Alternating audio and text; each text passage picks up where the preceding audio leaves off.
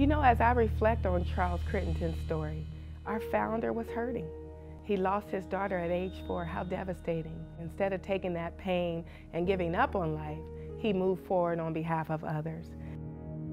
We started at, as a place for unwed mothers at a time when there was a lot of stigma and labeling uh, for women who had children with no husband. And so as the years have evolved, we continuously listen to the voices of girls and what our community needs from us and evolved our services accordingly. I would get grounded, I got arrested. I've been bullied my whole life and I've been through a lot of trauma. Verbally, it would be physically. I throw things, I yell, I scream, I hit things. Like I just, I'm a very angry person. I think it's just because of my past. So we have a therapeutic group home for girls ages 10 to age 18 where they reside and receive behavioral health services including individual, group, and family therapy. We have a Girls Ranch location. They're 12 to age 18, primarily out of our child welfare system. Many of them are pregnant or parenting. And we have a unique opportunity to help break cycles. So the girls are really focusing on good parenting.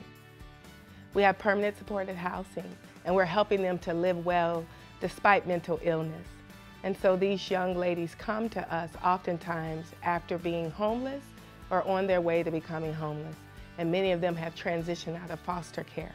Without a forever family is scary out there, particularly for girls. While we recognize that they're grown-ups, they still need support.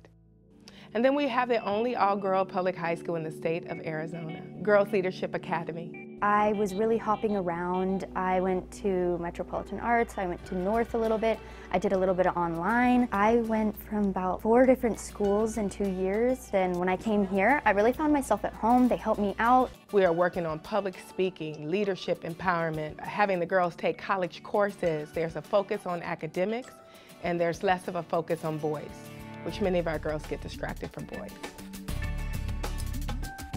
I mean, I just like to move forward to the future and don't look back, leave it back there because I can't change it. And today's a gift. That's why they call it the present. Suicide is no longer the answer for me. It, it just spreads the pain, basically. Today, girls are still in trouble, and they need advocacy and support. And keeping in the spirit of our founders, sometimes your pain helps you to impact this world. Saved us, saved our family. So like Charles Crittenton, our girls can take the devastating past and pain that they've experienced and really touch the world